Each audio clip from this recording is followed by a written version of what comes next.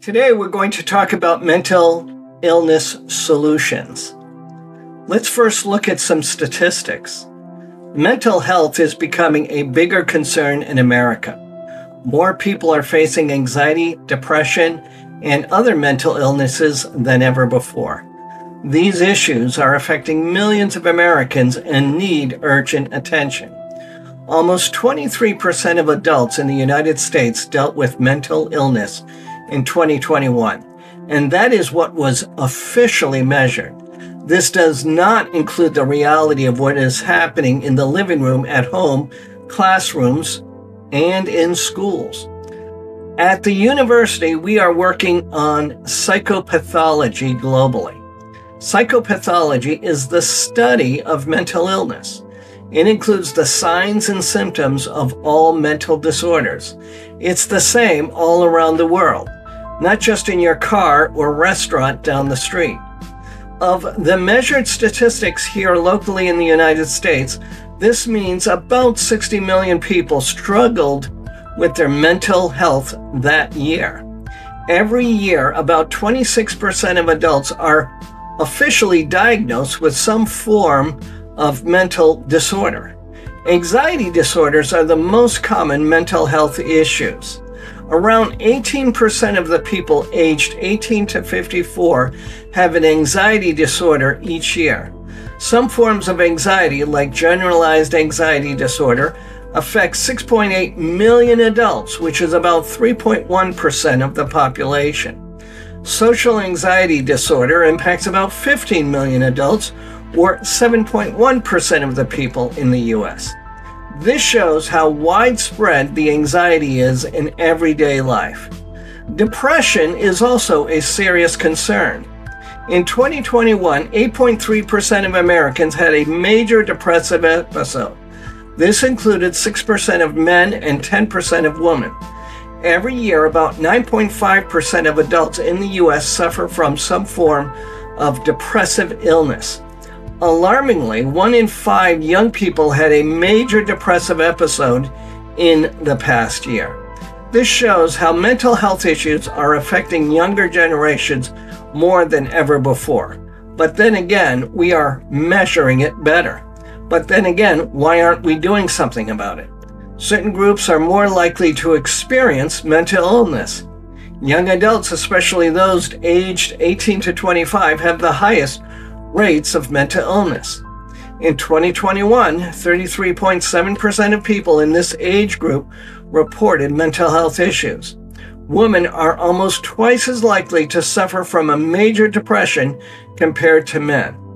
Data from October 2023 showed that 32.7% of women and 24.4 of men reported anxiety symptoms, while 23.3 percent of women and 21.6% of men reported depression symptoms. Substance use is also closely linked to mental health problems. I know about that. It's part of my distant past. It's part of my journey. I also know that I'm not alone, so I won't ask if I'm alone. About 18% of adults in the U.S. had a substance use disorder in the past year, but 77% of them did not get the treatment they needed. I know I didn't, but God is good, I was set free. Among youth, 9% had a substance use disorder, which highlights the need for better support and treatment. One of the most worrying statistics is about suicide. Over 5% of adults, or 12.8 million people, had serious thoughts of suicide. Among youth aged 12 to 17, 13% reported having suicidal thoughts. This shows that young people are at high risk for mental health issues. The numbers surrounding anxiety, depression, and mental illness in America are alarming. Many other people are not included in these numbers, like the homeless I minister to every Sunday morning out in the streets. But I see it. It's real.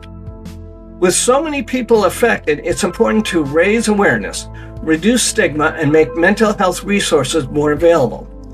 Several weeks ago, I shared specific mental health resources in Western Massachusetts. and it can be found on my website, bravehearted413.com. Addressing mental health is not just a personal issue, but also a public health priority. The well being of individuals, families, and communities depend on it. Do I hear an amen? Now, the Bible has stories that we learn a lot from. The Bible has many, many stories about people who face mental health challenges, even though the words they used back then sound different from what we use today. One of the most famous figures is King David. Throughout his life, David showed signs of feeling very sad and anxious. In the Psalms, which are poems and songs he wrote, he shared his deep feelings of sorrow and fear. For example, in Psalms 6, verse 6 through 7, he says, I am weary with my groaning. All night I make my bed swim. I drench my couch with my tears. My eye wastes away because of grief. It grows old because of all my enemies. This shows how much he struggled with his emotions. Another important figure is Elijah, a prophet who had a big victory against the prophets of Baal. But after that, he faced a tough time. He ran away from Queen Jezebel, who wanted to harm him, and he felt so overwhelmed that he asked God to end his life. In 1 Kings chapter 19 verse 4, he says, "It is enough now, Lord, take my life for I am no better than my fathers." This statement reveals how deeply he was suffering and feeling hopeless. Job is another example of someone who went through extreme mental and emotional pain. In the book of Job, we learn about his many losses, including his family, health, and wealth. He felt hopeless and in despair, showing us that even good people can struggle with their mental health. In Job chapter 3 verse 11, he says, "Why did I not die at birth? Why did I not perish when I came from the womb?" Job's words show the depth of his sorrow and suffering. Then there's uh, Nebuchadnezzar, the king of Babylon, who faced a serious mental crisis. This event, often referred to as Nebuchadnezzar's madness, provides an intriguing historical and theological account of mental illness in ancient times. In the book of Daniel, it describes how he lost his mind and lived like an animal for a while, to make a long story short. In Daniel chapter 4 verse 33 it says he was driven from men and ate grass like oxen. His body was wet with dew of heaven till his hair had grown like eagle's feathers and his nails like birds and claws. This story suggests he may have suffered from something like a severe mental illness the bible doesn't use the same terms we do today for mental health but it still talks about emotional struggles in Deuteronomy chapter 28, verse 28, the Bible mentions mental affliction, saying, The Lord will strike you with madness and blindness and confusion of heart. This shows that the people in biblical times recognized these challenges. The Bible often looks at health as a whole, including physical, mental, and spiritual well being. It offers comfort to those who are feeling anxious or troubled, encouraging them to talk to God about their worries. In 1 Peter chapter 5 verse 7, it says, "Casting all your care upon him, for he cares for you." Importantly, the Bible highlights the importance of community and support for those who are having a tough time emotionally. It suggests that people should help each other when they are struggling. In Galatians chapter 6 verse 2, it says, Bear one another's burdens and so fulfill the law of Christ. While the Bible provides spiritual guidance and comfort, it also acknowledges that seeking professional help is very important. Yes, that's right, professional help. So many people today, including uh, Christians, understand that having both faith and professional support can be valuable when dealing with mental health challenges. Overcoming anxiety, depression, and other mental challenges is not an easy journey. However, the Bible offers wisdom and comfort that can help us navigate these struggles with faith and hope. One of the most beautiful parts of Scripture is how it speaks to our hearts in moments of fear, uncertainty, and sorrow. The principles found in the Word of God, which is the Bible, provides us with strength, encouragement, and direction. Let's explore some of these biblical truths that can guide us through tough times and bring peace to our troubled minds. Now, first, we're going to be understanding the role of the Bible and the role of reading the Bible, prayer, and fasting as it relates to mental health. Now, mental health is an important part of a person's overall well being, and many people turn to spiritual practices for support. Bible reading, prayer, and fasting are three key practices in our faith that can bring comfort, peace, and strength in difficult times. These practices, while spiritually enriching, are not substitutes for professional mental health care, but they can work alongside treatment to help individuals find hope and peace. By turning to the Bible, spending time in prayer, and fasting with a focus on God, many of us find a sense of and purpose that supports our mental well being. Let's talk about Bible reading. Now, Bible reading is often described as a source of strength and wisdom, especially in times of trouble. The Bible contains many promises of peace, hope, and comfort that can help those who are struggling with mental health issues. For example, in Psalms 119, verse 105, where it says, Your word is a lamp to my feet and a light to my path. This verse reminds us that the Bible can guide us when we feel lost or unsure about what to do next. It gives us direction and helps us make choices that lead us to peace. Many people find comfort in reading the Psalms, which express a wide range of emotions like joy, fear, sadness, and hope. In Psalms 34:18, it says, the Lord is near to those who have a broken heart and saves such as have a contrite spirit. This, rever- this verse reminds us that God is close to those who are hurting and he offers his healing presence when we turn to him. No matter how difficult life feels, God's love and support are always available through his word. When reading the Bible, believers often feel a deep connection with God. They know that He understands our struggles and is ready to offer help. This connection brings comfort and peace, especially when life feels overwhelming. The Bible shows us that we are never alone in our troubles and that God is always with us, offering love, strength, and wisdom to guide us through any challenge. Now let's talk about prayer. Another important verse is Philippians chapter 4 verse 6 through 7 which says, "Be anxious for nothing but in everything by prayer and supplication with thanksgiving let your requests be made known to God and the peace of God which surpasses all understanding will guard your hearts and minds through Christ Jesus." These words offer reassurance to those who feel overwhelmed by anxiety. By turning to God in prayer, we are encouraged to give our worries to Him, knowing that He will provide peace that goes beyond what we can understand. This peace can help to calm our minds and reduce stress, allowing us to face challenges with a sense of trust in God's plan. The Bible also encourages believers to trust in God's plan, even when life feels uncertain or difficult. Proverbs chapter 3 verse 5 through 6 says, Trust in the Lord with all your heart and lean not on your own understanding. In all your ways acknowledge him and he shall direct your paths. When dealing with mental health challenges, it can be difficult to make sense of our emotions and experiences. This verse reminds us to rely on God's wisdom and trust that He is guiding us even when we don't fully understand what is happening. Many people find that trusting in God's plan brings a sense of peace, allowing them to let go of worry and focus on the present moment. Prayer, as mentioned in the in Philippians, is a key spiritual practice that can bring support for mental health. Through prayer, we communicate with God, sharing our fears, hopes, and challenges. 1 Peter chapter 5 verse 7 says, casting all your care upon him, for he cares for you.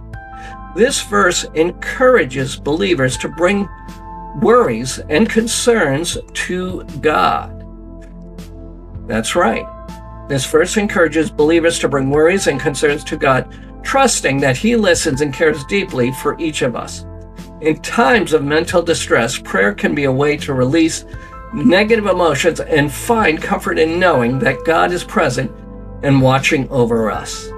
The act of praying itself can help calm the mind by creating a moment of stillness and reflection. It allows us to step away from the chaos of life and focus on God. By praying, we remind ourselves that we are not alone in our struggles. This connection with God gives us strength and helps us trust that He will provide guidance and peace even when life feels overwhelming. Prayer is a powerful tool for finding comfort and hope, especially when we feel lost or uncertain about what to do next. Now, let's talk about fasting. Fasting is another spiritual practice that can support mental well being by helping us focus on our relationship with God. In Matthew chapter 4, verse 4, Jesus says, Man shall not live by bread alone, but by every word that proceeds from the mouth of God. This verse shows that spiritual nourishment is more important than physical needs. Fasting can help clear the mind and focus more on prayer and scripture, allowing for a deeper connection with God. By temporarily setting aside physical needs, believers may find that they can hear God's voice more clearly and gain a new perspective on their lives. It is important to note that fasting should be done carefully, especially for those with a history of eating disorders or other mental health concerns. Fasting is not about punishing the body, but more about creating space for spiritual growth. Isaiah 58 6, that's chapter 58, verse 6, it says, Is this not the fast that I have chosen? To loose the bonds of wickedness, to undo the heavy burdens, to let the oppressed go free, and that you break every yoke?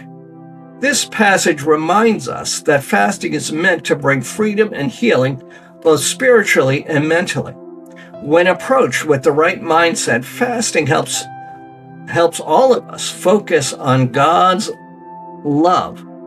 Yes, it helps us focus on God's love and care, freeing us from the burdens. That's right, we're freeing us from the burdens that weigh on our hearts and minds.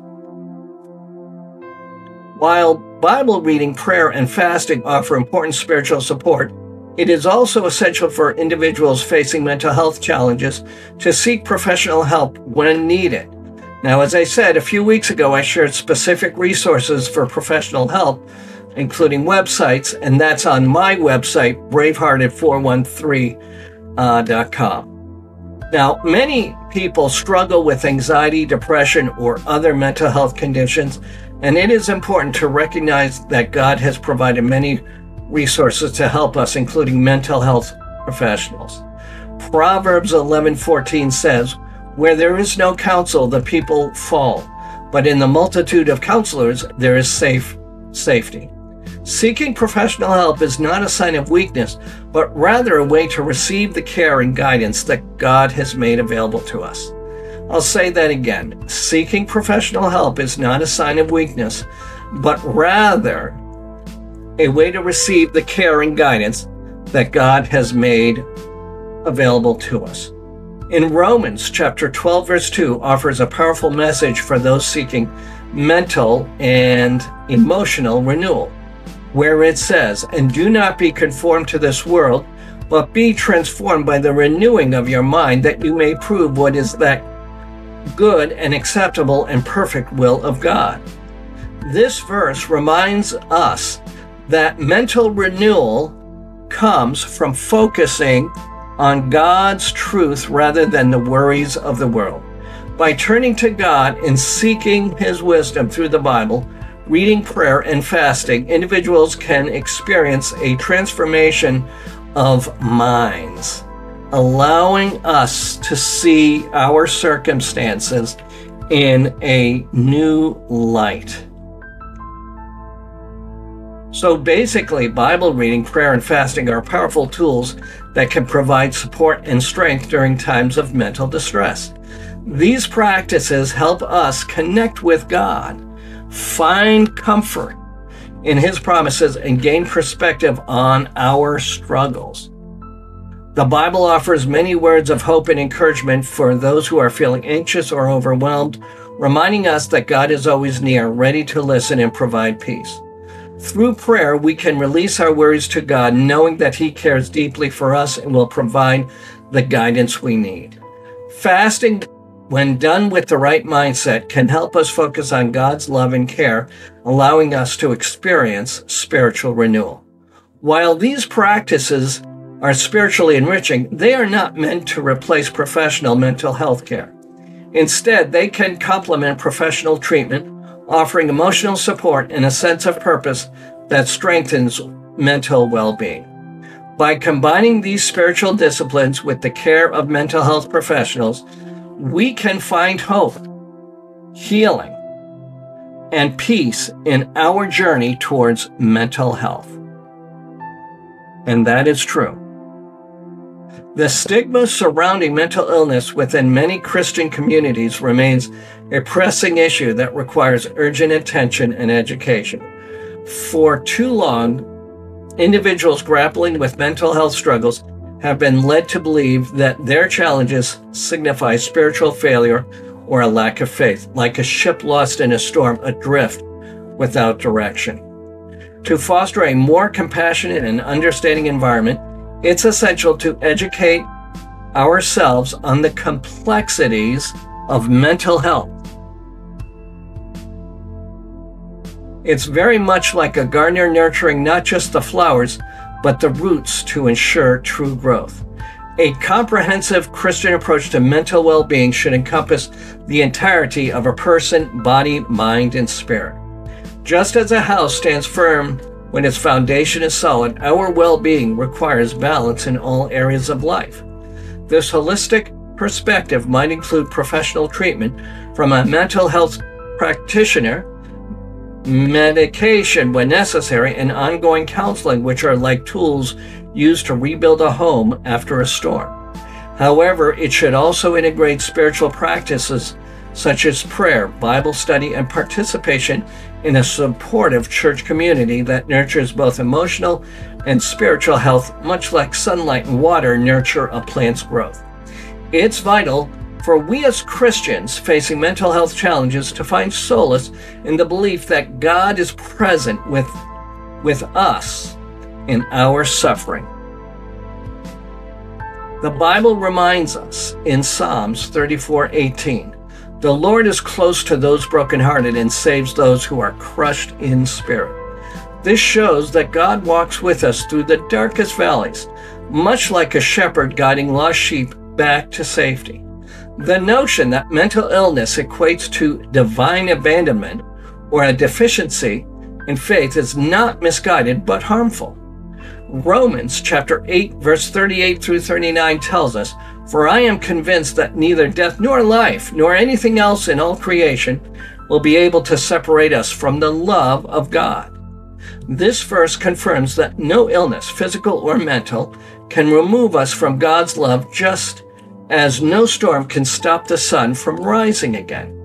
By encouraging open conversations about mental health and promoting understanding within the church, we can dismantle stigma and create an environment where individuals feel safe to seek help. Proverbs chapter 11 verse 14 says, "Where there is no guidance, the people fall, but in the abundance of counselors, there is victory." Seeking help through counseling is not a sign of weakness, but a step toward healing and strength.